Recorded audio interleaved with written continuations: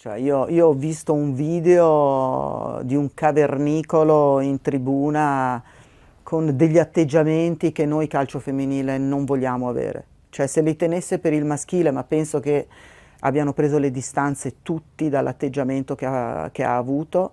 Mi dispiace che c'è stata gente che ha cominciato a dire ah ma la giocatrice non ha denunciato quindi forse eh, non è così, è un, un, gesto affettuoso, ma ragazzi è ovvio che non ha denunciato perché lei la prima reazione che ha avuto è stata quella di mi ha fatto schifo. La seconda eh, è ovvio che il presidente è andato lì a parlarle e a dirle quello che doveva fare.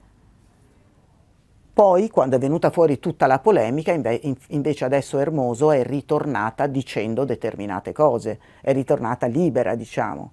Però, insomma, ma era evidente che era così, per cui c'è gente che l'ha difeso, no, non, non esiste, ma, eh, ma, ma sono contenta poi che vabbè, la Spagna è un paese serio e quindi hanno reagito, i politici hanno reagito in un certo modo. Ora, se non si dimetterà questo presidente, io spero che eh, gli sponsor prendano le distanze dal, dal, dalla squadra e da quello che sta succedendo, ma credo che sia costretto a dimettersi.